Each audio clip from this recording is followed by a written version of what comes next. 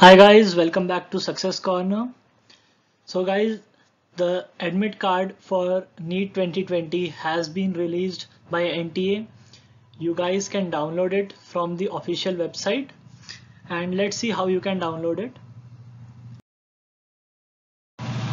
So to download your NEET 2020 admit card, you can visit the official website that is ntaneet.nic.in and the link has been provided in the description. So when you click that link, then click on NEET 2020 admit card download. Then you will be redirected to a new page. There you can log in by entering the required credentials and you can download the admit card. So it will be displayed on the screen. You can download it and you can also take a printout for future reference. So the admit card has been released. So please download it right now. So guys, please share it with your friends those who are appearing for NEET 2020 that the admit card has been released by NEET and they can download it from the official website or you can also see the link in the description section below.